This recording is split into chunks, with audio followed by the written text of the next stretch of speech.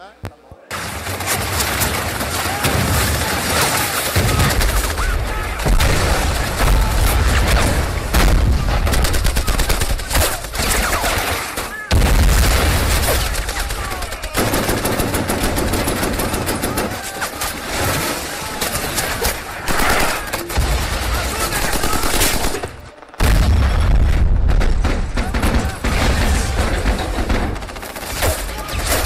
Parnamirim é uma cidade brasileira localizada no estado do Rio Grande do Norte, pertencente à região metropolitana de Natal, sendo o terceiro município mais populoso do estado em crescente desenvolvimento econômico, especialmente no setor imobiliário.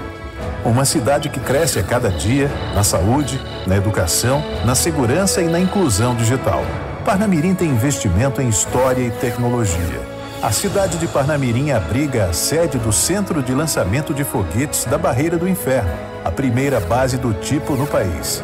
Pontos turísticos como o maior cajueiro do mundo e as praias de Cotovelo e Pirangi do Norte, além de abrigar eventos e shows musicais durante a alta estação, o que fazem da cidade um dos principais destinos turísticos do estado.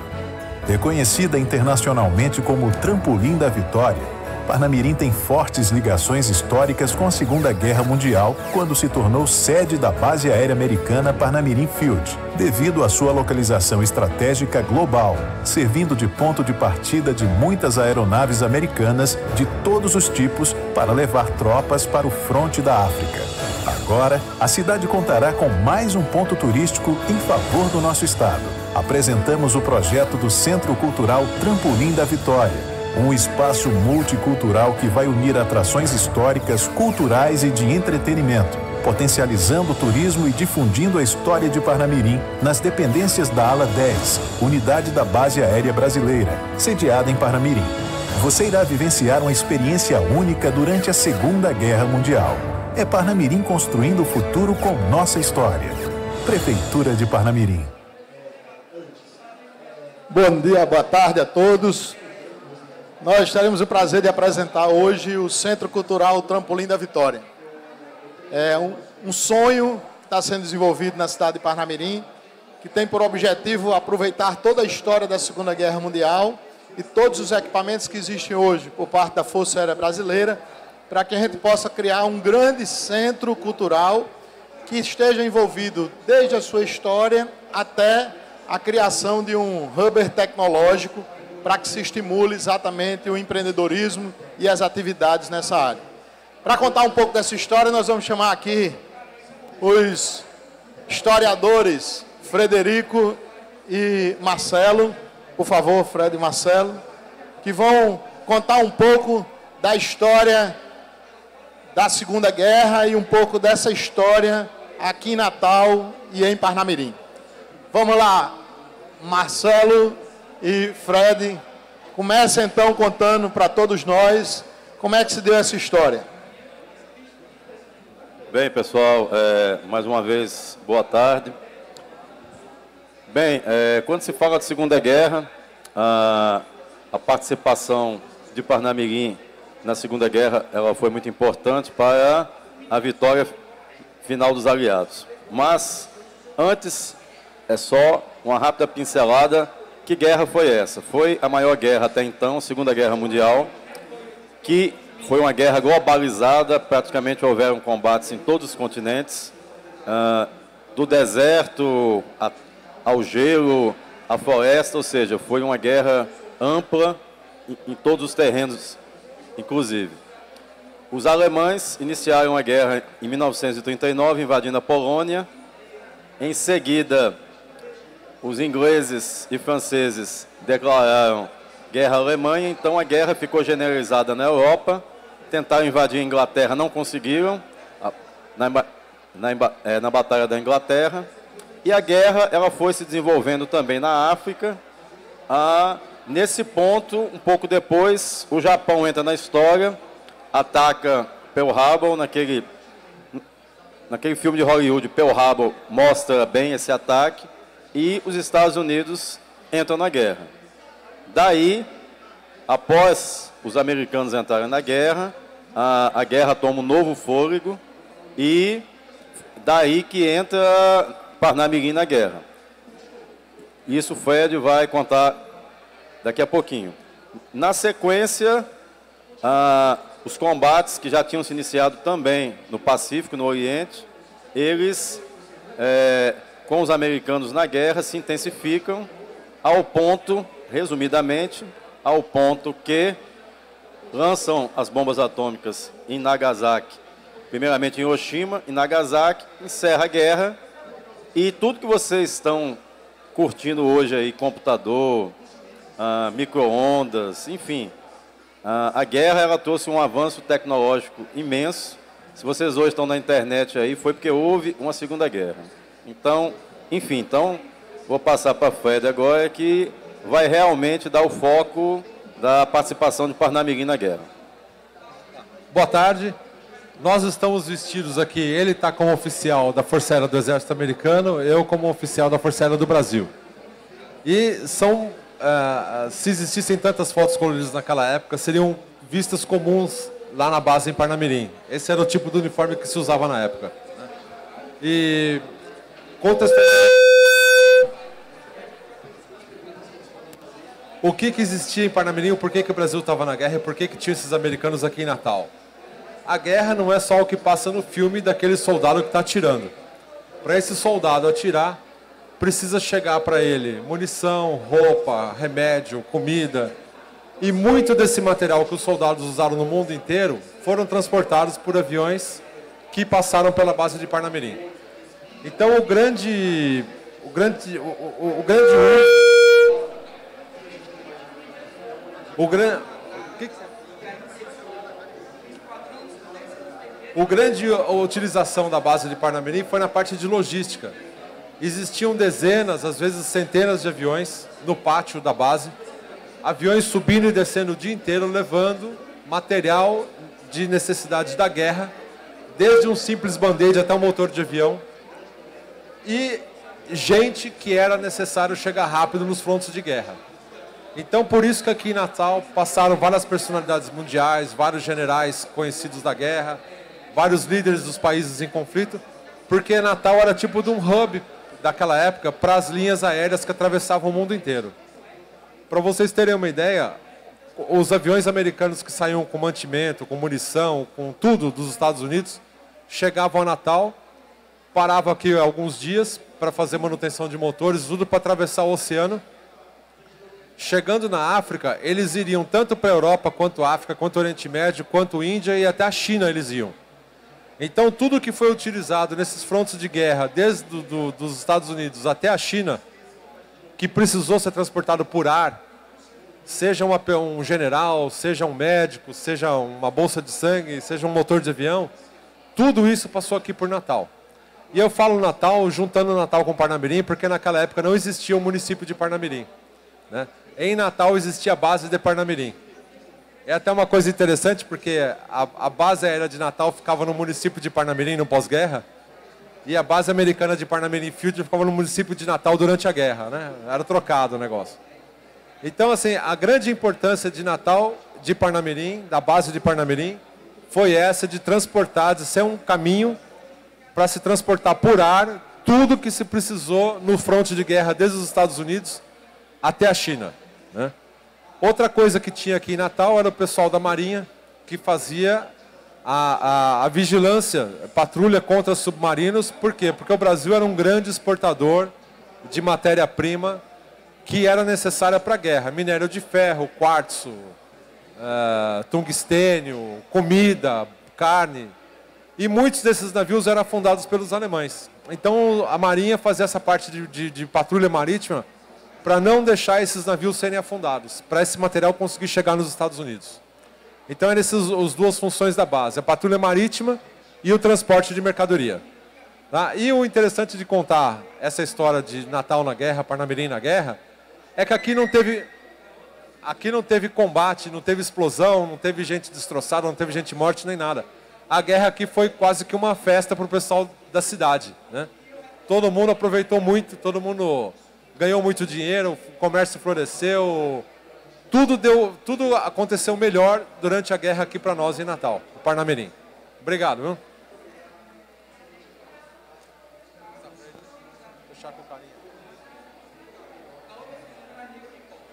Muito bem, Fred. Obrigado. A apresentação aqui de Fred, um pouco da história, e eu gostaria de. A provocação que Eduardo nos fez aqui começou assim: história mais tecnologia, é possível? E aí, vale salientar que Marcelo e Fred estão há mais de 10 anos estudando a história de Natal na Segunda Guerra Mundial.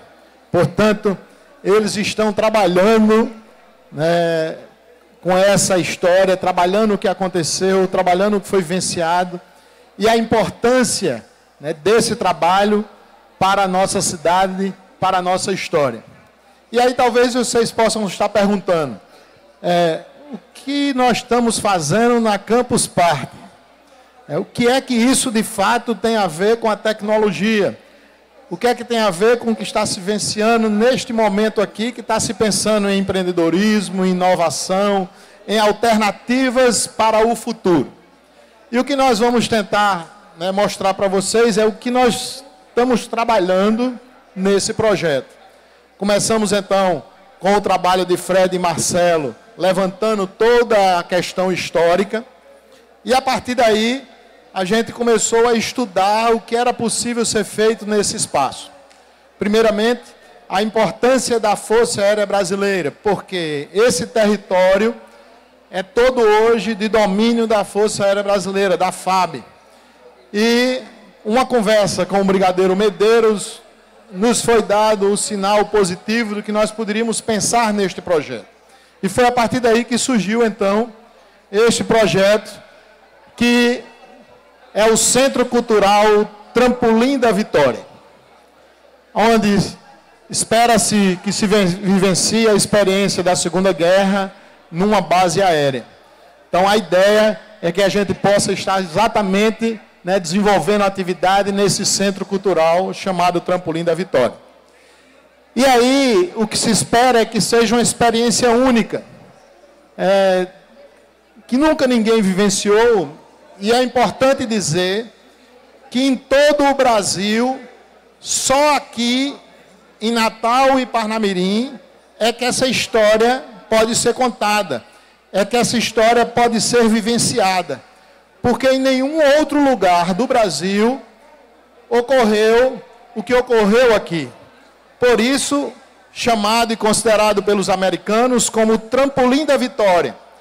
Porque os historiadores dizem que se não existisse Natal e o campo de Parnamirim, é possível que a guerra tivesse demorado mais um ano.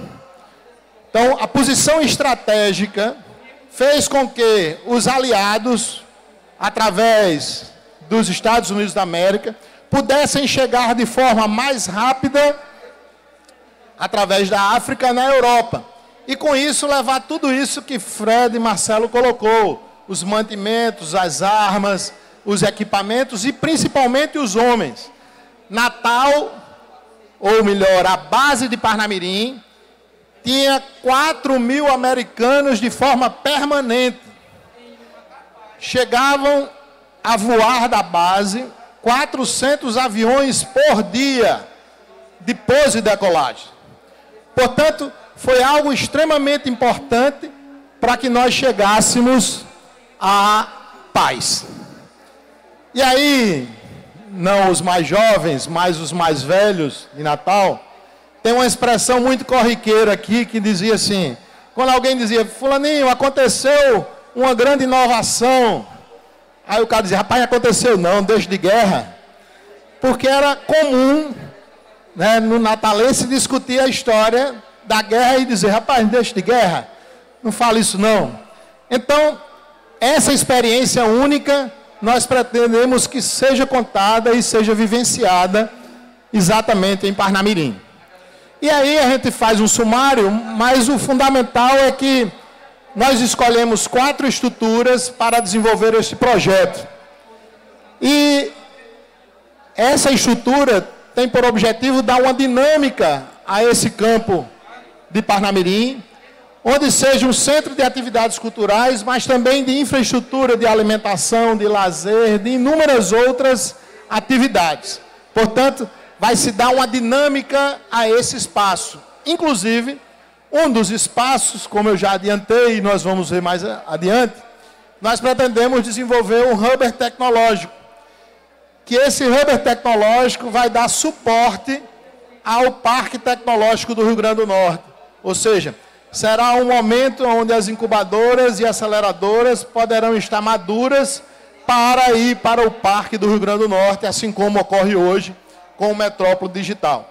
Então, nós estamos trabalhando em função desta atividade. E o espaço que será utilizado é exatamente este. Esse espaço é da Força Aérea Brasileira, portanto. Aqui tem a BR-101 e aqui o antigo terminal de passageiros do aeroporto Augusto Severo, que muitos conheceram, que facilitava a vida de todos os norte-riograndenses e turistas que chegavam aqui, porque ao chegarem neste aeroporto, já tinham a BR-101 e chegavam com muita facilidade em Natal.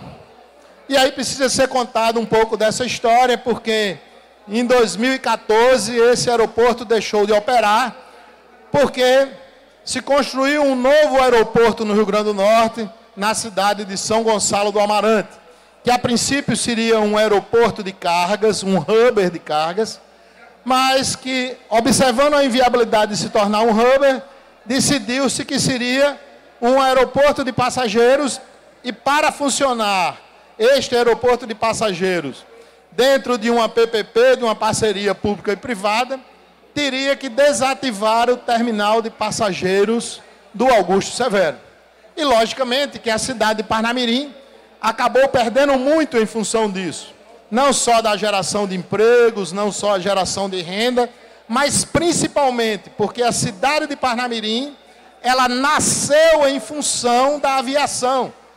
Como, a, como o Fred tinha colocado aqui anteriormente, é, nós fazíamos parte de Natal. E foi com o surgimento dessa história da aviação que fez com que Parnamirim se tornasse uma cidade independente de Natal. E aí é importante que a gente diga isso, porque quando ocorreu essa ruptura da saída do aeroporto, efetivamente a cidade perdeu muito, inclusive a sua vinculação com a história. Então, nós estamos com esse projeto tentando resgatar tudo isso: emprego, renda, inovação, empreendedorismo, tecnologia, mas também né, o, resgate da autoestima, o resgate da autoestima do parnamirinense. Desse, saindo deste pavilhão, nós temos uma outra área aqui, que da Aeropostal Air France, que antes da Segunda Guerra, em 1927,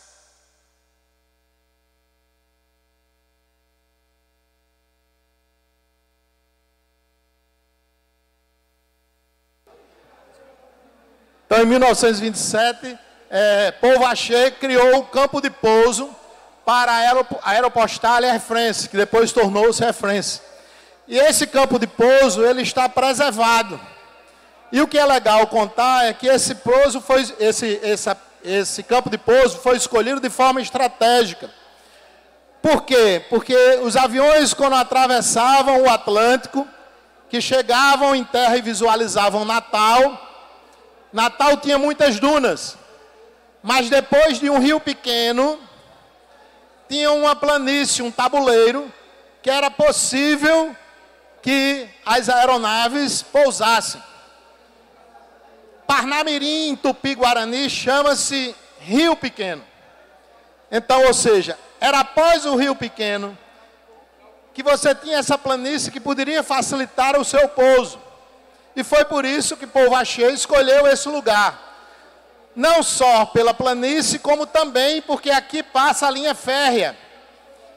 E, portanto, toda a logística para chegar em Natal estava resolvida. Você tinha um campo plano que poderia pousar e poderia utilizar a linha férrea para chegar com tudo que você quisesse em Natal. Depois, em 39, as linhas aéreas transcontinentais italianas construíram aqui um hangar belíssimo. E depois, aqui tinha a construção da chamada Base Oeste. Porque quando Getúlio aceitou que os Estados Unidos viessem para cá e, portanto, fizeram o grande encontro entre Getúlio e Roosevelt foi exatamente em função deste campo. E aqui foi construído, neste campo, duas bases.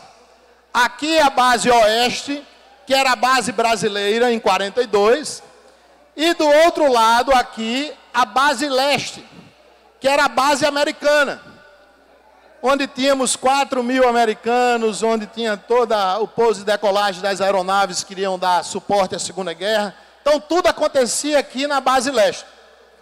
Aí vocês podem me perguntar, mas Giovanni, por que, que a base leste não está aqui em destaque? Porque após a Segunda Guerra Mundial, a base oeste, que era a base brasileira, é, passou a ocupar a base leste, porque terminada a guerra, os americanos foram embora e esta área ficou desocupada. E aí, logicamente, como ela tinha uma estrutura maior, passou a ser utilizada pela Força Aérea Brasileira. E essa história, portanto, é, ficou da base oeste ficou um pouco esquecida. E hoje seis esquadrões da Força Aérea Brasileira estão em plena atividade, utilizando a área da base leste. Portanto, nós não podemos utilizar esta área porque ela continua hoje em grande operação. Então, nós estamos utilizando as áreas que a princípio são possíveis. Então, feito isso, no, na primeira estrutura, que é exatamente aquela estrutura do antigo terminal de passageiros, nós preservamos o estacionamento no mesmo lugar, então o estacionamento para ônibus, para carros, para motos, para vans, para toda a estrutura de locomoção permanece. E na estrutura do antigo terminal de passageiros, nós teremos aqui onde funcionava o embarque e desembarque, nós vamos ter aqui as aeronaves expostas. A princípio, a Força Aérea Brasileira tem 12 aeronaves já hoje aqui na base aérea disponíveis para serem expostas aí. Inclusive, duas dessas aeronaves fizeram parte da Segunda Guerra Mundial. Então, nós iremos utilizar, inclusive, essa estrutura onde essas aeronaves estarão expostas nessa localidade. Depois disso, nós vamos aqui para aquele salgão onde tinha o check-in. Quem conhecia o aeroporto lembra que estava aí o check-in. E nós vamos contar, portanto, aqui nessa área toda a história da Segunda Guerra Mundial e da história da aviação. E aí vocês podem perguntar, mas onde é que vocês vão conseguir os equipamentos? Onde é que vão conseguir essa história? E é exatamente a presença de Marcelo e Fred aqui, é porque eles, durante os 10 anos que estão estudando, buscando informação e buscando material, através do que se chamou de Fundação Rampa, eles já já têm todo este material, além do acervo que a própria Força Aérea Brasileira já tem. Então a ideia é que a gente passe a contar, portanto, toda essa história nessa localidade e dê e resgate a dinamicidade daquele espaço. No primeiro andar, onde funcionavam as lanchonetes, o restaurante, funcionavam as lojas, tudo aquilo vai voltar a funcionar, porque ela é extremamente importante para movimentar esse espaço. E lá em cima vai ter um avião semelhante a esse, um chavante, onde as pessoas poderão vivenciar, entrar no chavante. Então as pessoas vão poder subir, entrar no chavante, botar um capacete, botar um, um macacão e se imaginar, né, naquela história da aviação. E em volta dessa estrutura, dessa aeronave, estarão os simuladores de voo. Se vocês tiveram já a oportunidade ou se não tiveram ainda, passem lá no estande de Parnamirim, na entrada, que já tem um simulador lá. Inclusive, é de propriedade de Marcelo e tem feito já a fila porque a ideia é que nós tenhamos lá vários simuladores e que as pessoas possam estar utilizando esses simuladores ao visitar esse espaço. E no segundo andar, onde nós víamos o pouso e decolagem de aeronaves, nós iremos usar aquele espaço para fazer projeções em 3D, com óculos virtual, é, campos minados, as pessoas vão poder vivenciar aquilo ali, além de estarem podendo ver as operações da Força Aérea Brasileira de pouso e decolagem de aeronaves. Tudo isso, e aí Marcelo e Fred, quando começamos a discutir o projeto e começou esse trabalho, eles diziam muito assim: olha, não pensem nisso como museu. Vamos pensar como é que a gente vai dar dinâmica a essa atividade. E aí, a ideia nossa é que no pavilhão Augusto Severo, quem vai nos recepcionar com holograma vai ser Augusto Severo. Então nós temos lá um holograma que vai estar lá em tamanho real, com Augusto Severo fazendo a recepção das pessoas que chegam nesse centro. E todas as peças terão um QR Code. Portanto, é, ao chegar no centro, você com seu celular vai saber exatamente o que ele vai representar, o que ele representa. Então tem lá um capacete utilizado pelos americanos de ferro. Então vai lá dizer como é que foi montado esse equipamento, como é que foi construído, aonde ele foi comprado, é, como é que ele foi, é, onde ele participou, que batalha ele participou, para contar, portanto, toda a sua história. Vai ter lá uma maquete da Batalha de Monte Castelo. Então, lá na maquete da Batalha de Monte Castelo, estará contando também com QR Code toda a história que ocorreu naquela localidade. Então, a ideia é que a gente possa usar a tecnologia, a inovação e dando uma grande dinâmica a essa história. Então, a ideia é que a gente possa desenvolver isso. E aí eu já diria de antemão que a gente começa a pensar na história e na tecnologia. E aí muitos dos que estão aqui hoje poderão estar desenvolvendo produtos para que nós possamos estar contando essa história de forma dinâmica, de forma interativa. Essa, portanto, é a ideia que nós pretendemos trabalhar nesta área. Essa área é, hoje está desocupada, é, sem uso, de 2014 até hoje, ela está lá se depreciando de uma certa forma, porque não está sendo feita a manutenção dela. Mas nós já levantamos todas as informações para recuperar a área. E talvez aí esteja a parte melhor dessa história. É, a escada rolante continua em funcionamento. Os elevadores continuam funcionando. O sistema de ar-condicionado com seus dutos e ventilações estão funcionando, só não temos, portanto, o coração dele. O piso está intacto, extremamente de fácil recuperação. Portanto, essas, essas estruturas que tiveram um grande investimento do governo do Estado poderão ser recuperadas, ser recuperadas num curto espaço de tempo. E aí vocês podem fazer uma segunda pergunta. Tudo bem, está tudo recuperado mas precisa ser feita manutenção, precisa ser feita revisão, tem uma série de estruturas aí. Como é que será feito? Aí a Prefeitura Municipal de Parnamirim, através do prefeito Taveira, já garantiu a disponibilidade de recursos, importa em aproximadamente 2 milhões de reais, para que a gente possa recuperar essa área e possa fazer com que essa estrutura esteja apresentada para todas as pessoas. Aí vocês podem fazer uma terceira pergunta. Mas quando vocês pretendem? Então, como é o nosso sonho, né, como é o nosso desejo, dependemos da Força Aérea Brasileira. Precisamos do aval da Força Aérea. E se a Força Aérea Brasileira nos der o aval positivo, ainda este mês, onde nós estamos aguardando já essa informação até o final do mês, o prefeito pretende abrir essa estrutura no dia 17 de dezembro de 2019. Portanto, a ousadia é que a gente possa estar com essa estrutura pronta ainda este ano.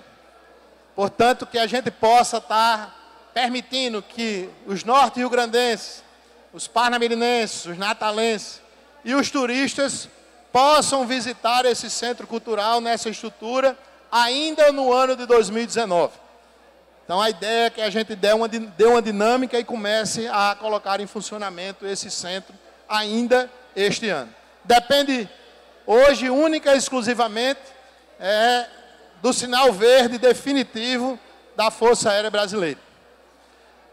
Saindo dessa estrutura, onde nós vamos contar então toda essa história né, da aviação no pavilhão Augusto Severo, nós iremos então para a área francesa. A área francesa, essa é uma, uma fotografia da Segunda Guerra. Nós podemos contar tudo isso e fazer um tour histórico. E esses prédios estão hoje preservados. Então, esses prédios estão lá preservados, ao lado da linha férrea.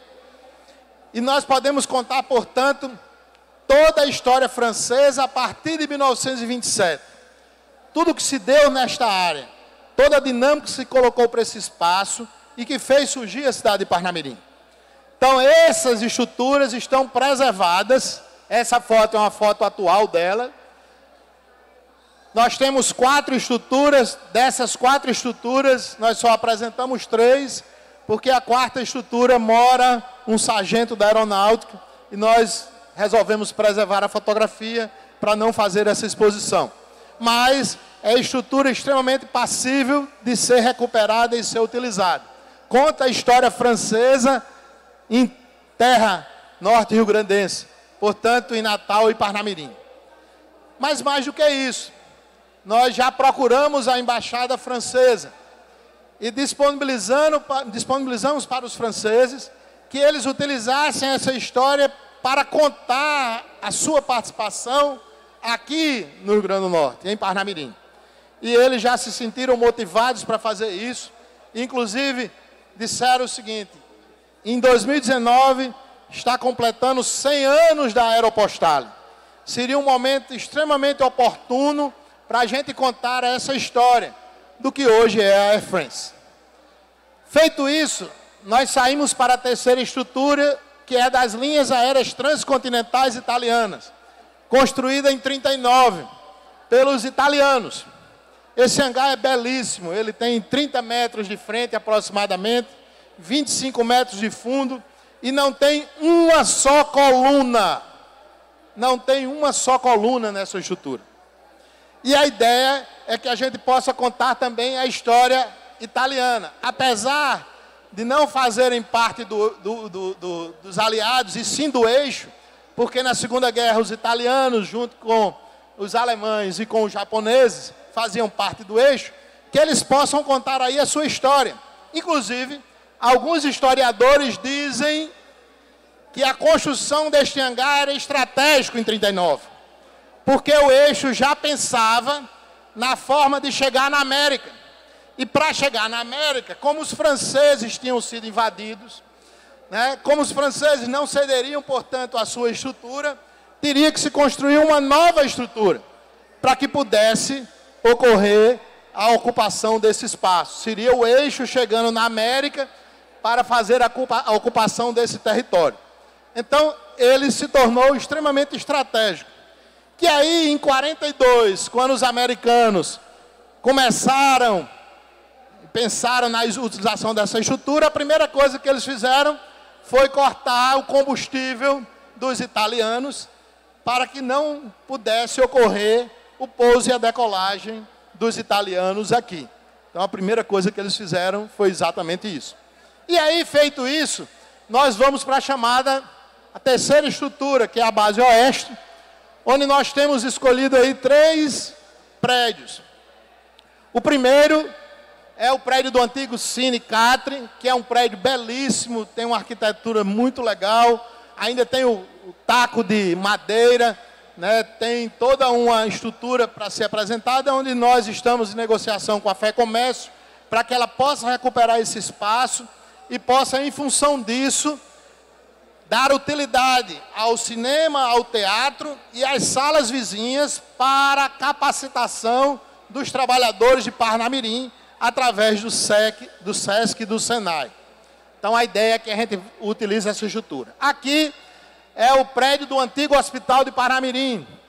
E nesse antigo hospital também tem uma arquitetura belíssima. Na conversa que nós já tivemos na Embaixada Americana, e com o cônsul de Recife aqui, a embaixada em Brasília e o cônsul de Recife aqui, nós já apresentamos esse espaço como espaço que os americanos poderão contar a história deles aqui em Terra Potiguar, aonde foi o chamado trampolim da vitória. Então a ideia é que os americanos ocupem esse espaço. Por incrível que pareça, essa foi a primeira base americana fora do território americano. Foi a primeira base aqui. E por incrível que pareça, foi onde teve instalada a primeira fábrica da Coca-Cola em território brasileiro. Eles trouxeram uma fábrica da Coca-Cola para produzir Coca-Cola para os americanos. Então, o primeiro lugar onde a Coca-Cola se instalou no Brasil, não para a produção comercial, mas para a produção dos americanos, se deu exatamente em terras potiguares, especificamente na base aérea lá de Parnamirim. E todos os americanos mortos durante a Segunda Guerra, ao serem transportados para os Estados Unidos, passaram também por terras potiguares. Por isso, criar-se também um monumento aos americanos mortos na Segunda Guerra nesse espaço. E aí, a embaixada americana achou extremamente interessante o desenvolvimento dessa atividade. O cônsul já esteve aqui com toda a sua equipe, já conheceu essa estrutura e provavelmente está voltando é, assim que a Força Aérea Brasileira der o sinal positivo, porque eles já sinalizaram que tanto a Coca-Cola como também a Boeing poderia realizar investimentos para recuperar essa história e contar toda a história americana. E por fim, nós temos aí aonde funcionava o antigo comando, que é a ideia nossa. Essa sala aqui é a sala do comandante, é uma sala belíssima, uma sala que dá uma visão para as pistas de pouso e decolagem. E aqui nós temos salas de aula que foram ocupadas há oito anos atrás por uma escola chamada Santos Dumont, hoje está desativada. E a ideia nossa nesse espaço é que aqui a gente vai ter o nosso, nosso hub tecnológico um espaço para inúmeras incubadoras de empresas, para que as startups possam estar atuando aí. Nós já sabemos que o Metrópole Digital está com sua área toda ocupada, e aí eu não tenho dúvida que inúmeros é, alunos, investidores que precisam de espaço, vão utilizar o espaço é, para desenvolver então as suas atividades. Então, a pergunta que nós fizemos inicialmente: é possível unir história e tecnologia? Sim ou não? Vai, eu quero escutar. Sim ou não? Estou me lembrando aqui de, de Tonico que fica aqui. Oi, todo mundo fica gritando. Eu quero saber, sim ou não? Muito bem. Então a ideia é que a gente possa contar essa história, né, chegando aos tempos atuais, chegando, portanto, à modernidade. Tudo isso é, será feito com esses materiais que nós, como já falamos, já existem disponíveis.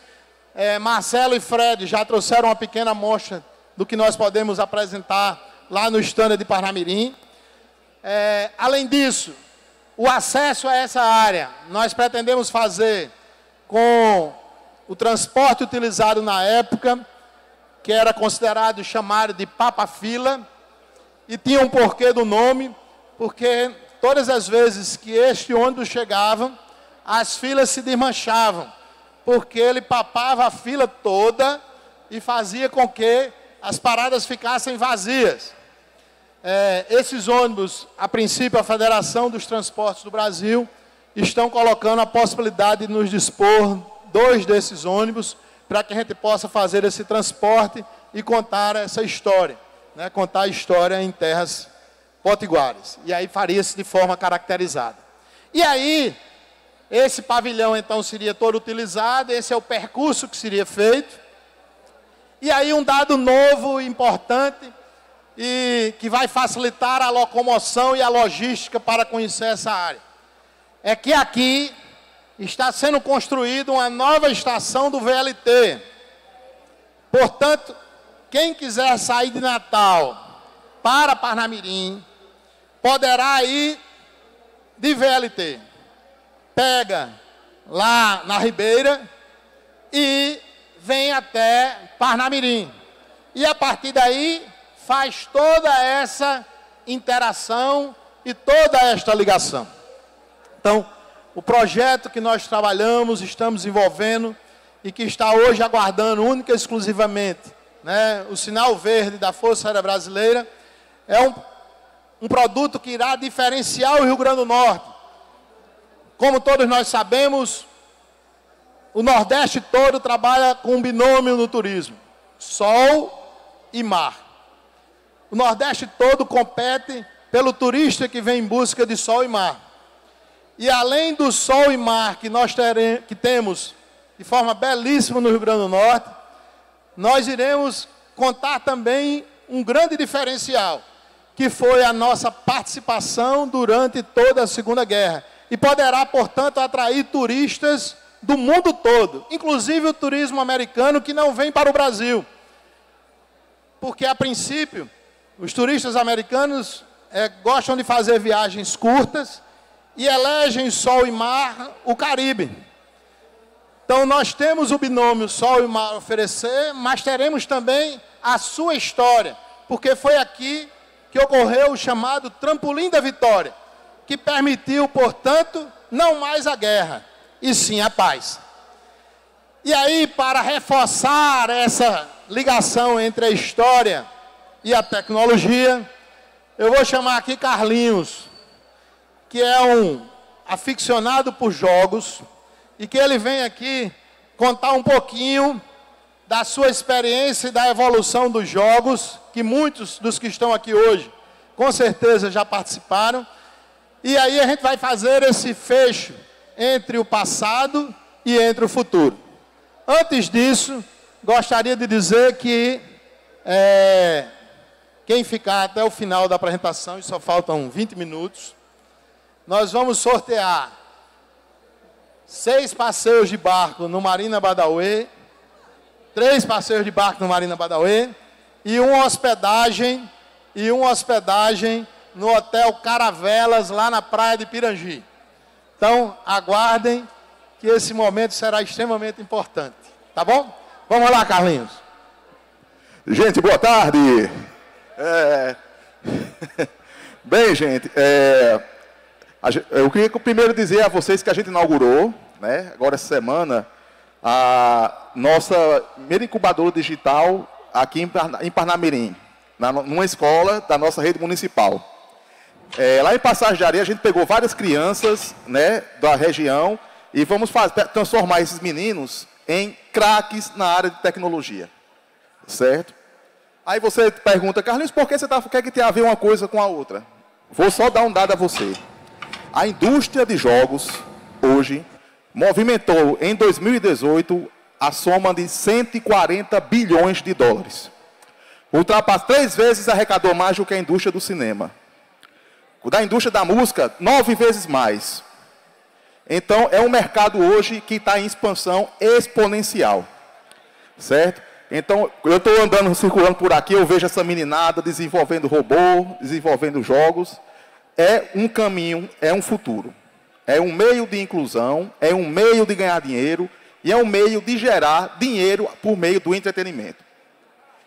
Os jogos, a gente está vendo aí, vários anos, na década de 70, eu acho que Dario jogou isso aí, não foi Dario por aí, né? Nessa época aí.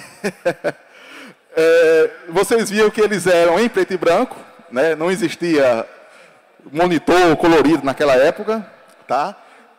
Em, Pac-Man. No final da década de 70, já começou a aparecer os jogos com gráfico linear, tá? Esse é um dos primeiros jogos em colorido que existia, em oito cores apenas, tá certo?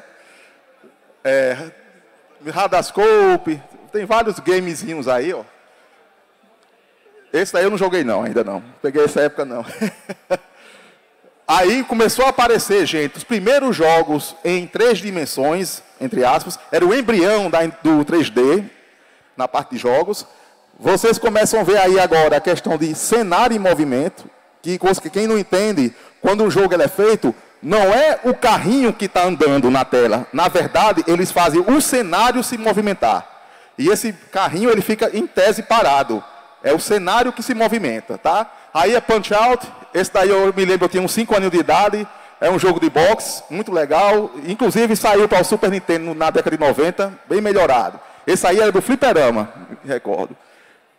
Esse, aí, esse jogo eu não joguei, que acho que não tinha nos fliperamas daqui, tá? A grande maioria desses jogos, gente, você não era no console, era em fliperama. Você ia lá numa casa de fliperama, você jogava, se divertia, comprava aquelas benditas fichinhas, que o cara não faltava hora não acabar mais. Eu mesmo gastava muito minha mesada com isso. Outrun, 1986, foi um sucesso danado. Se a mente não me falha, a verdade não me engana, ele foi para o Atari, se eu não me engano.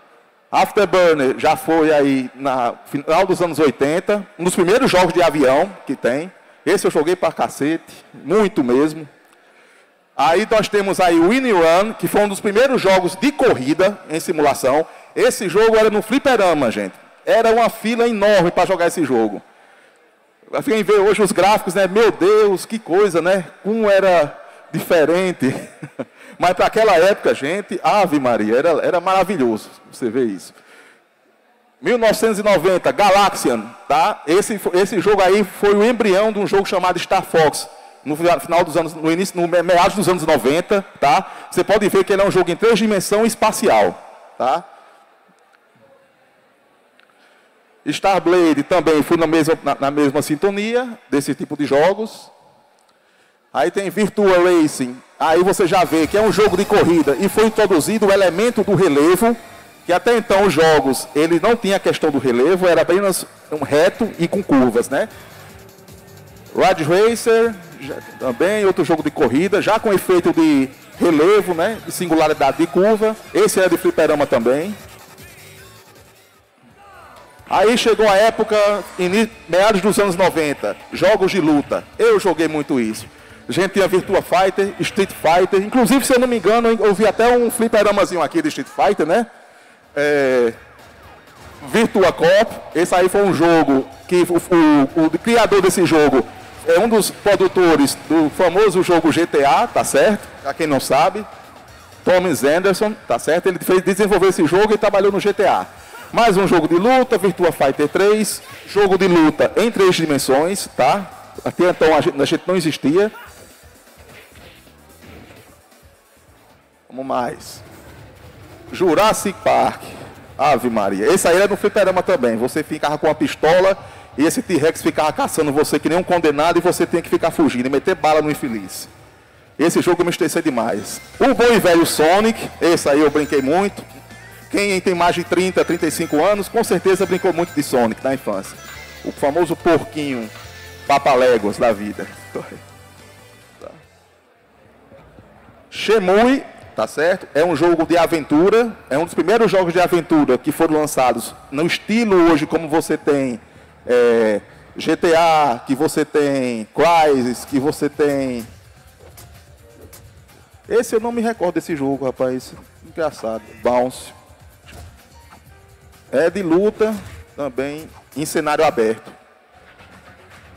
Dead or Alive, joguei também muito. Você pode ver que agora os jogos, a qualidade gráfica, à medida que vai passando, vai evoluir bastante. Você lembra no começo da apresentação, a gente passou os primeiros jogos da década de 50 até chegar a 1980, você vê pouca evolução gráfica. De 98 a 2019, você vai ver como essa parte gráfica deu um salto. Por que isso, gente? Mercado. A partir da hora que o mercado de vez começou a crescer de forma enorme como está hoje, injetou-se mais dinheiro, injetou-se mais tecnologia no desenvolvimento desses jogos. Então, melhor qualidade, tá certo? É, OutRun 2, esse aí, se eu não me engano, era para PlayStation 1. Doom 3, meu amigo, esse aí era bom demais. A gente ia para as Lan House, meu amigo. Era bala com força, matando esses monstros horrorosos aí. Fear, esse nome fazia Fear mesmo, porque a gente jogava no cenário escuro pra caramba de repente aparecia um zumbi na cara do cara, meu amigo. Era cada pinote que a gente dava dentro.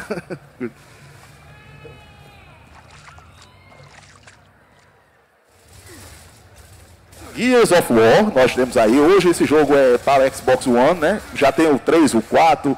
É, é jogo de tiro, para quem gosta de jogo de guerra. não tem coisa melhor. Crisis, como eu já disse, jogo de aventura, também de tiro. Joguei também para muito esse jogo, bom, viu? O problema é que vicia demais. É, em seguida, vocês vão ver, gente, nessa época, quando essa época aí, o jogo multiplayer, que é o M, MM, não, o MMO é o online, né? Mas o multiplayer dessa época a gente jogava, ou a gente fazia uma mini lan house nas nossas casas, fazia, botava um, comprava um switchzinho, botava os, os, os, cabos em cada computador e fazia, né? É, não tinha a internet rápida como se tem hoje para fazer.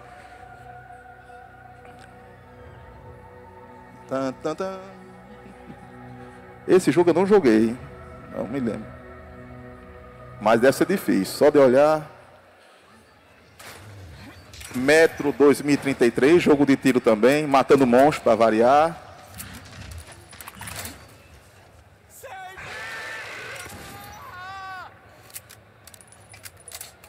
É, rapaz. Crysis 2, já a segunda versão do jogo, já foi em 2011.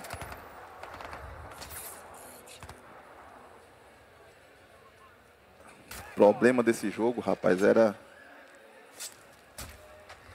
a campanha single player desse jogo era um estresse, meu amigo. Deus me livre. Não dá não.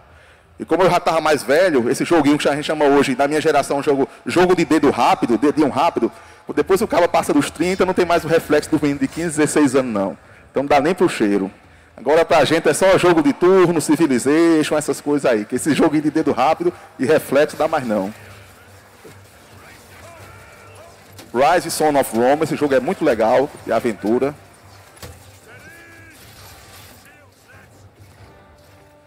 Tinha vários outros jogos né, que a gente podia incluir aí, mas como tinha que pegar 10 minutos, aí eu achei peguei esse, esse quadro aí para mandar. Assassin's Creed, né?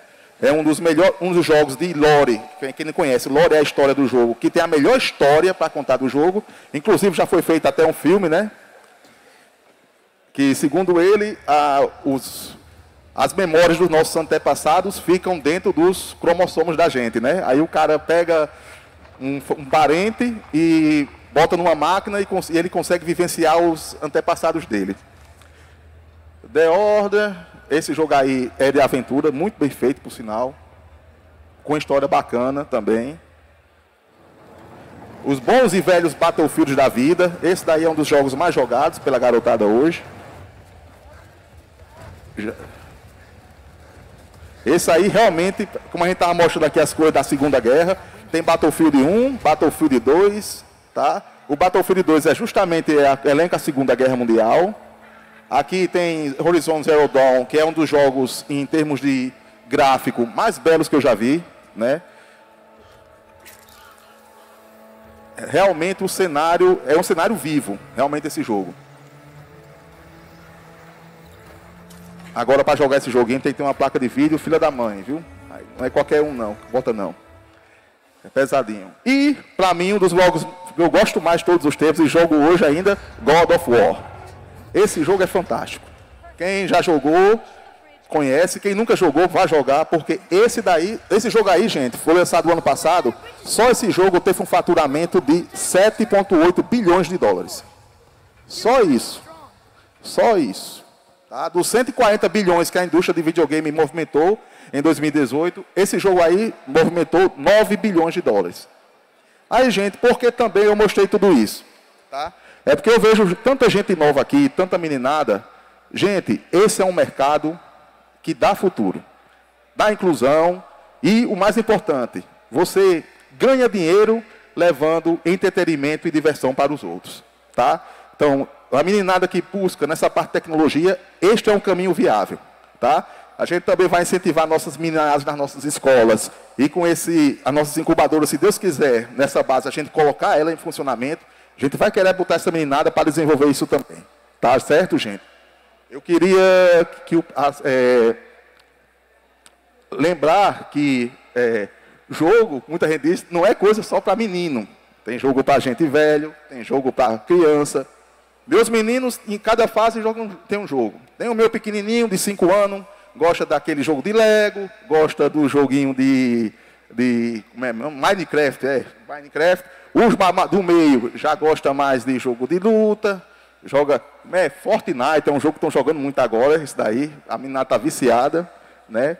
Então, gente, isso é um caminho, tá certo? É uma porta para o futuro de muita gente, muito jovem e muita criança. Então, era isso que eu queria dizer e que a prefeitura de Parnamirim está aberta, tá certo? Para vocês conhecerem o nosso espaço quando foi inaugurado. E quem quiser saber mais, acesse o site da prefeitura, tá certo? A gente vai estar contando um pouquinho desse projeto aí. Se Deus quiser, em dezembro vamos estar inaugurando as portas. Valeu, Giovanni. Carlinhos. Eu sou um privilegiado, viu? Porque eu estava sentado ali olhando para vocês. O que tinha de gente de boca aberta, relembrando os seus tempos de criança e todo esse passeio que foi feito na história. Então é muito legal isso. E o nosso objetivo é que a gente possa estar tá contando a história né, ligada ao que está se vivenciando hoje, que é a tecnologia. Nós pretendemos nesse espaço né, contar tudo isso e estimular principalmente os nossos jovens é, a empreender em algo que pode mudar a vida de vocês. Por isso, como o Carlinho já colocou, eu vou voltar a repetir.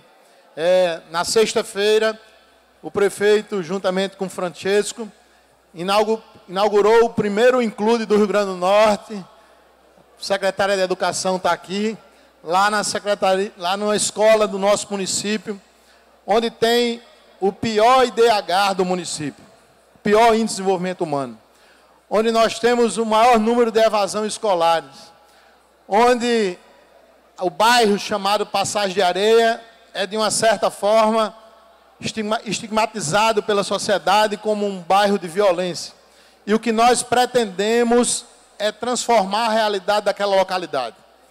E aí, quando nós conversávamos com o Francesco da ideia né, de colocar Panamirim no, no, no meio deste processo, apesar de este evento estar ocorrendo na cidade de Natal, é, ter o patrocínio do governo do estado, no primeiro momento o prefeito disse logo, pode contar com a cidade de Parnamirim porque nós sabemos que Parnamirim irá trabalhar em função da inovação que já está sendo desenvolvida através do Instituto Federal do Rio Grande do Norte, é, através da universidade e também do nosso centro tecnológico, que hoje já existe na Prefeitura de Parnamirim, desenvolvendo inúmeros produtos para que, melhore, para que a gente possa melhorar toda a gestão pública do município, na área da educação, na área de saúde, na área é, de relacionamento. Agora mesmo nós acabamos de lançar é, o, o, projeto Ino, Inovar Paramirim, onde os servidores poderão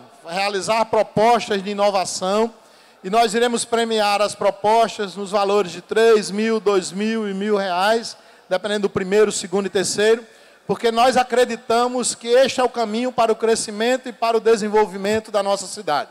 Portanto, todos aqueles que queiram empreender e inovar, podem ter a certeza que Parnamirim está de, de braços abertos para recebê-los. Já temos a lei de incentivo para quem quiser desenvolver qualquer ação nesta área, porque nós acreditamos que esse é o caminho para transformar a nossa sociedade. Por isso estamos aqui, através de Dario, do GCTI, né, com o Eduardo, que prepara todo o nosso material, que são garotos que foram preparados né, na nossa base, para que a gente possa realmente ter uma transformação da sociedade, que esse eu acho que é o desejo de todos nós. Iremos agregar história e tecnologia e transformar esse espaço num espaço de muita atração, não só para conhecimento, mas também para investimentos. Então, vou agora para a parte principal, que é o quê? O sorteio. Então, nós vamos sortear né, três passeios de barco no Marina Badauê, e uma hospedagem no hotel Caravelas. E aí vamos começar a pensar como é que a gente vai sortear. Vou fazer uma pergunta. Quando terminou a Segunda Guerra Mundial? Olha aqui, chegou a ganhadora, já respondeu ali com a camisa do Esporte Clube você é pernambucana, filha? Me fala um pouquinho sobre você. É, eu tenho. Meu nome é Libna, tenho 19 anos E eu vim nesse evento para saber mais sobre tecnologia. De Recife. Muito bem. Olha aí, uma pernambucana que veio para nossa terra conhecer um pouquinho da tecnologia. Vamos lá. Segunda pergunta. Outro passeio no Marina Badawi. É, vou fazer o seguinte: quem nasceu no dia 29 de fevereiro? Alguém nasceu 29 de fevereiro? Hein? Sua namorada, cadê ela? Ô, oh, rapaz, tinha que trazer a namorada para ela apresentar aqui ainda, 29 de fevereiro, ia ganhar o passeio de barco. Hein? 19 não vale não? Eu vou contar um segredo para vocês. Mas eu não vou dar para ela não. Minha esposa nasceu no dia 29 de fevereiro. Então olha só. É... Quem tem o sobrenome Silva? Virgem Maria. Quem tem o sobrenome Silva? Então vem para cá quem tem o sobrenome Silva. Quem vem para cá. E só para quem tem o sobrenome Silva, eu vou fazer uma outra pergunta. Né?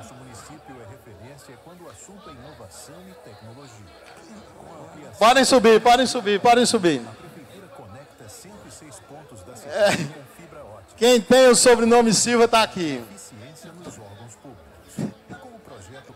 Como é, Paulo? Então, todos aqui, Silvas. Um, dois, três, quatro, cinco, seis, sete, oito Silvas. Professor, chegando agora aqui, vem cá. Me ajuda aqui. Esses são Silvas, certo? Nós estamos sorteando um passeio de barco no Marina Badauê. Tá, é também? Silva. Então pode vir concorrer. Pode vir concorrer. Eu ia pedir ao professor para fazer uma pergunta para saber quem respondesse ia ganhar o passeio de barco. Faça uma pergunta aí, os meninos aqui. Qualquer uma. História, História, história, Segunda Guerra, pode perguntar. Bom, qual o ano de fundação da cidade do Natal? Essa é fácil. Não é possível. Nosso município é referência quando o assunto é inovação e tecnologia. A ampliação da rede Giga Parnamirim, a prefeitura conecta 106 pontos da cidade com fibra. Essa foi difícil, Giovanni. Foi difícil. Podia ter feito eu uma ia, pergunta mais fácil. Eu ia perguntar o de Parnamirim, mas aí. é, de Natal, né? Já são 22 pontos de monitoramento cobrindo 7 bairros. Vai abrir. Faço outra então? Faça outra, Faço pode fazer outra. outra. Então. Muito bem. É? Bom, é, o Parnamirim, né, Giovanni? É, de Parnamirim, o que, que, a gente pode perguntar, Giovanni? Da, da Segunda Guerra. Data de emancipação da cidade? Não, essa tá difícil demais. É, tá bom, vai.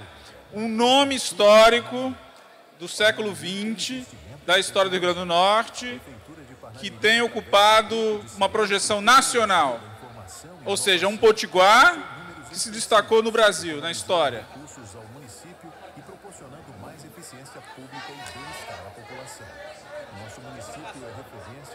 Os Silvas, os Silvas têm que responder. Augusto Severo, Câmara Cascudo. Café Filho. É Silva? Zé Silva? É, pode concorrer. Ó, me, Respondeu? Não sei se ele foi no Google. Será que ele foi no Google? Será? É Silva? É Silva. Tá aí, passeio no Marina Badawi. Valeu, muito Beleza. obrigado. Obrigado, valeu. Então vamos lá. Ainda tem aqui uma hospedagem. Ainda tem uma hospedagem. Ainda tem uma hospedagem no Hotel Caravelas. Vamos lá, foto. Hospedagem, hospedagem no Hotel Caravelas. Vamos lá. Na história da Segunda Guerra, ocorreu né, um fato extremamente importante que foi chamado do dia D. Quem sabe a data do dia D? Hein? Acho, caramba, eu estou numa dúvida aqui. 1945 ou 1944? Olha. Vamos lá, vem, vem, vem, vem. Vamos lá. Olha aí, ele chegou lá primeiro, ó. Ô, você gaguejou, meu irmão. Vamos lá, vem aqui. Vamos lá. Diga aí. 1944. Exatamente. Sou Yuri Giovanni, sou daqui da cidade de Natal e vim para cá para atribuir novos conhecimentos à minha área. Legal, muito bem. Então, valeu, obrigado, Giovanni. Ô, Xará, é isso mesmo. Valeu, a foto, a foto, a foto, a foto, o registro.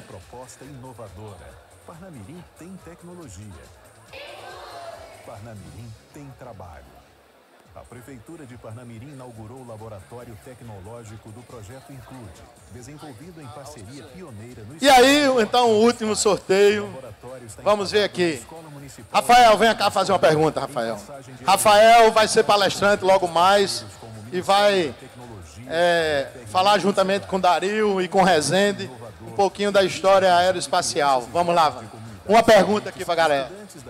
Municipal de Ensino no mundo Eu queria saber por que o nome Trampolim da Vitória. eletrônica, Vamos lá. Porque é, durante a, se não me engano, a Segunda Guerra Mundial, a Natal era, na verdade, Parnamirim ali. Era um centro que ficava grande parte do pessoal dos Estados Unidos, que eles usavam para ficar como base, se não me engano, é base aérea. E aí eles usavam como trampolim da, trampolim da Vitória, porque era direcionado a uma ajuda ao governo dos Estados Unidos para poder subir os Estados Unidos na, que ajudava na guerra. Ou seja, Natal estava ajudando os Estados Unidos na guerra. Legal, legal. Muito bem, venha receber aqui, tranquilo. Não, terminando. Ó, pronto. Amiga, arrasei. Passeio no Marina Badawi. Conte sua história um pouquinho aí.